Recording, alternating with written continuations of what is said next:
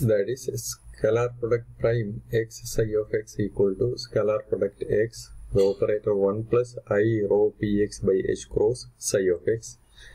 So the psi of x in the ket space can be equated on both sides and we obtain the position coordinate in adjoint ket space as adjoint ket x prime equal to adjoint ket x 1 plus i rho px by h cross. Taking the complex conjugate so that you can transform this vector from the prefactor space to the postfactor space as ket x prime equal to uh, conjugate of this one, this one dagger into this one dagger. 1 plus i rho px by h cross has a dagger, one dagger that is 1 complex conjugate of i which is minus i, p dagger is p itself, rho dagger, rho is a scalar so it is rho itself. px dagger is p since px is a Hermitian operator divided by h cross is there. And adjoint ket x dagger equal to ket x corresponding to so this is the expression for the displacement parameter. So displacement in the final coordinate or uh, final position coordinate along x direction is equal to this operator 1 minus i rho px by h cross operating over the initial coordinate. Hence this account for the infinitesimally small displacement suffered by the system from point having x coordinate get x to point having x coordinate say get x prime. Prime പിയിൽ നിന്ന് അതിന്റെ തൊട്ടടുത്തുള്ള P prime എന്നൊരു പോയിന്റിലേക്ക് എത്തുന്ന ഓപ്പറേഷനെ കാണിക്കുന്നത് ഈ ഒരു ഓപ്പറേറ്റർ ഇക്വേഷൻ ആണ്. ഈ ഓപ്പറേറ്റർ ആദ്യത്തെ കോർഡിനേറ്റിന്റെ പുറത്ത് ഓപ്പറേറ്റ് ചെയ്യുമ്പോൾ അതിന്റെ കറന്റ് കോർഡിനേറ്റ് കിട്ടുകയാണ് ചെയ്യുന്നത്. Here we have taken this as an infinitesimally small displacement from ket x to ket x prime ket എക്സിൽ നിന്ന് കെറ്റ് എക്സ് പ്രൈമിലേക്ക് ഉണ്ടായിട്ടുള്ള ഡിസ്പ്ലേസ്മെന്റ് നമ്മൾ എടുത്തത് റോ എന്നുള്ള ഇൻഫിനിസ്മലി സ്മോളർ ആയിട്ടുള്ള ഒരു ഡിസ്പ്ലേസ്മെന്റ് ആണ്. അതിന് കറസ്പോണ്ടിങ് ആയിട്ടുള്ള ഓപ്പറേറ്റർ ഇക്വേഷൻ ആണ് നമുക്ക് കിട്ടിയത്. ഏതൊരു ഇൻഫിനിസ്മലി സ്മോൾ ഡിസ്പ്ലേസ്മെന്റ് റോക്കും കറസ്പോണ്ടിങ് ആയിട്ട് നമുക്ക് ഒരു ഓപ്പറേറ്റർ ഫോർമുലേറ്റ് ചെയ്യാം. ആ ഓപ്പറേറ്റർ ആണ് one minus i rho p x divided by h cross എന്നുള്ളത്. ഇതിനെ വേണമെങ്കിൽ ഇപ്പൊ തന്നെ ഒരു ഇൻഫിനിസ്മലി സ്മോൾ യൂണിറ്ററി ഓപ്പറേറ്റർ ആയിട്ട് എഴുതാം. നമ്മളൊരു ഫൈനൈറ്റ് ഡിസ്പ്ലേസ്മെന്റിന് കറസ്പോണ്ടിങ് ആയിട്ടുള്ള ഓപ്പറേറ്ററിനെ മാത്തമാറ്റിക്കലി തന്നെ എങ്ങനെ കിട്ടും എന്ന് പ്രൂവ് ചെയ്യാണ് ഇവിടെ ചെയ്യുന്നത്. Actually, this can be taken here as uh, it's done in the case of Thankappan sir's textbooks. You can take this as an infinitesimally small unitary operator u equal to e raised to minus i rho px divided by h cross. Anyway, we will account for a finite displacement, say capital rho. അത് n number of infinitesimally small displacement small rhos എടുക്കുകയാണ് ചെയ്യുന്നത്. So evidently rho is equal to n times rho so that ഈ operator N തവണ repeat ചെയ്ത് ആദ്യത്തെ കോർഡിനേറ്റിന്റെ പുറത്ത് operate ചെയ്യുമ്പോഴാണ് ഈ റോ എന്നൊരു ഫൈനൈറ്റ് ഡിസ്പ്ലേസ്മെന്റിന് കറസ്പോണ്ടിങ് ആയിട്ടുള്ള ഫൈനൽ പൊസിഷൻ കോർഡിനേറ്റ് കിട്ടുന്നത്. So the final position coordinate ket x prime is equal to limit n tends to infinity, this operator 1 minus i rho px by h cross operating n times repeated over ket x. This is equal to, see this is of the form 1 minus x whole raised to n where x is an infinitesimally small parameter or x is a parameter less than 1 then it can have a binomial expansion of the form 1 minus x plus x square over 2 factorial minus x cube over 3 factorial plus etc. That we account here also since rho is an infinitesimally small parameter. This is now of the form 1 minus 1 by factorial i rho px by h cross plus 1 by 2 factorial i rho px by h cross whole square plus etc. that is equal to e raised to minus i rho px divided by h cross. This is in fact the expansion for e raised to minus x, where x equal to i rho px divided by h cross. Or this you can prove using the uh, equation from functions limits and continuity. Ket x prime as we have seen here is equal to limit n tends to infinity 1 minus i rho px by h cross all raised to n ket x that is with small rho here being equal to capital rho divided by n. Then this is equal to limit n tends to infinity.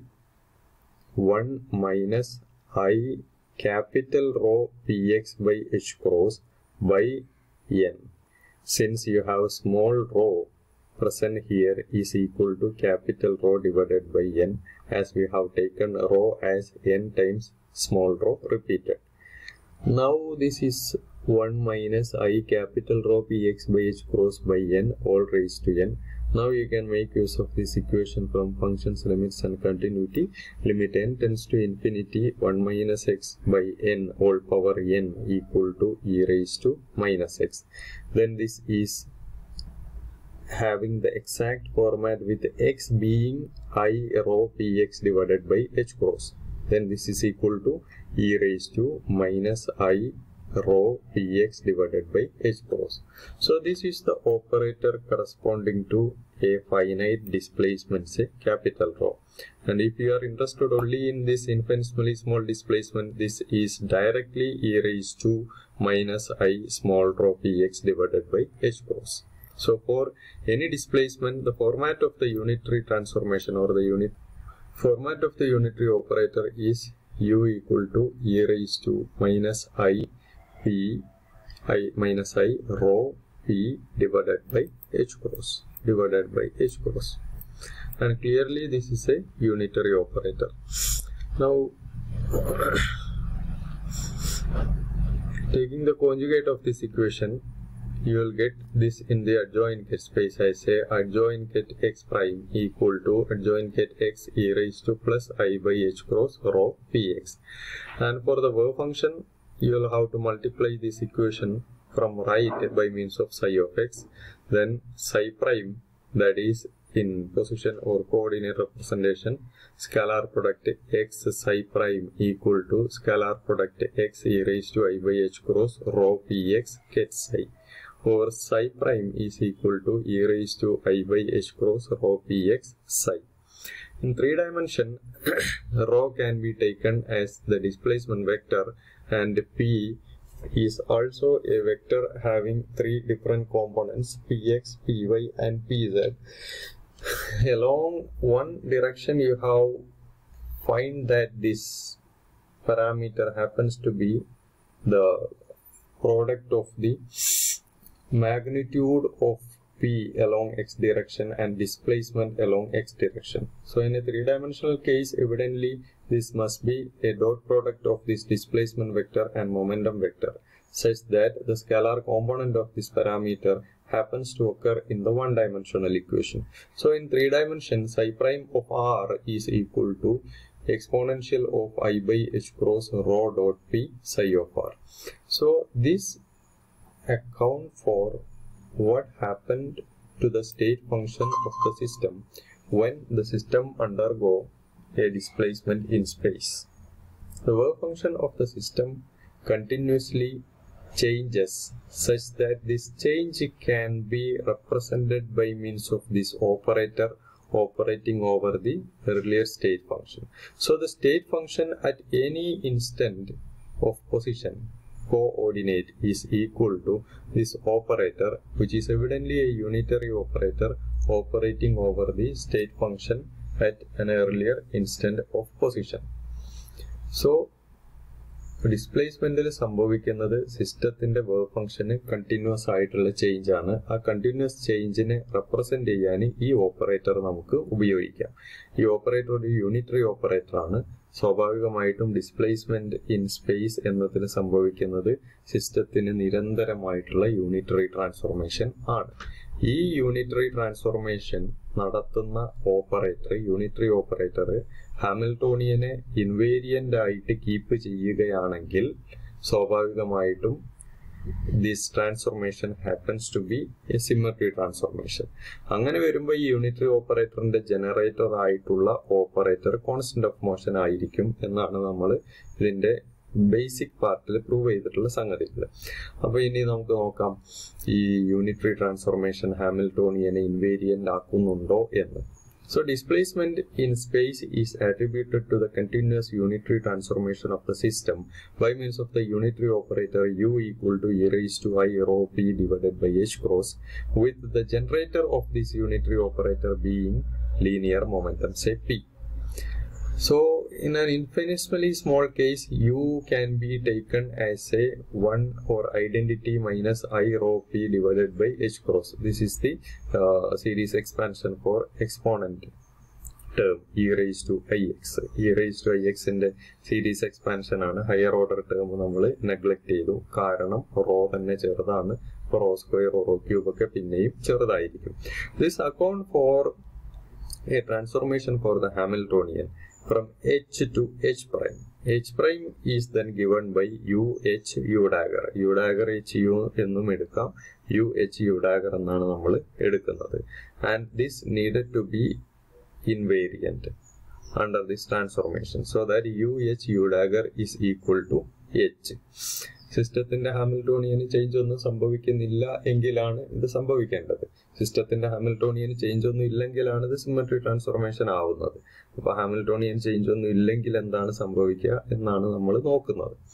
U H U dagger equal to H U is one minus i rho P by h cross H is written here U dagger complex conjugate of this one 1 plus i rho P divided by h cross. Now you open this bracket from left. identity into h that is h minus i rho p by h cross into h that is i rho ph by h cross 1 plus i rho p divided by h cross is here that's equal to h വീണ്ടും ഈ bracket open ചെയ്യുക H into identity that is H അടുത്ത term H into I rho P by H cross അതിൽ I rho by H cross സ്കാലാർസ് ആണ് I rho by h cross നമ്മൾ ഒരുമിച്ച് എഴുതി. പിന്നെ എച്ച് ഇന്റു പി ആണുള്ളത്. എച്ച് ഇന്റു പി എഴുതി. അടുത്തത് ഈ ടേം കൊണ്ട് ബ്രാക്കറ്റ് ഓപ്പൺ ചെയ്യുമ്പോൾ minus i rho by h cross into P H ഉണ്ട്. അപ്പോൾ ഈ ടേമിൽ നിന്നും ഈ ടേമിൽ നിന്നും i rho by h cross common ആയിട്ട് പുറത്തെടുക്കാം. അത് പുറത്തെടുത്തു കഴിഞ്ഞാൽ ആദ്യത്തെ ടേമിൽ എച്ച് പി ബാക്കി രണ്ടാമത്തെ ടേമിൽ പി എച്ച് ബാക്കി. And this is a minus term so you have a minus sign here പിന്നെ ഒരു ടേമും കൂടെ ഉണ്ട്. ഇത് രണ്ടും കൂടെ മൾട്ടിപ്ലൈ ചെയ്യുമ്പോൾ minus i into plus i that is minus i square which is plus one rho P H by h cross into rho P by h cross that is rho square by h cross square P H P എന്നാണ് വരുന്നത്. ഇതിലെ rho square negligibly smaller ആണ്. So you can omit this term and this is equal to H now H on both sides of vanishes what remains is i rho by h cross into hp minus ph equal to 0 that means this is commutator hp as you can see. Hp minus ph is commutator hp so commutator hp must be equal to 0 so if this unitary transformation is a symmetry transformation so that hamiltonian is left invariant then definitely the generator of this unitary transformation that happens to be linear momentum must commute with Hamiltonian H. Under such a situation, linear momentum is a constant of motion and this eventually give rise to the conservation law of linear momentum which is often stated that if no external force is acting on the system the total linear momentum of a system will be a conserved quantity will be a constant. So that there is no question of any change for the linear momentum of the system. This is true in quantum mechanics also. We have seen that in quantum mechanics the translation in space actually stem from the continuous evolvement of the system under a unitary transformation given by the unitary operator e raised to i into displacement into linear momentum divided by h cross. so that the generator of this unitary transformation which happens to be linear momentum operator commute with the Hamiltonian so that the corresponding observable that is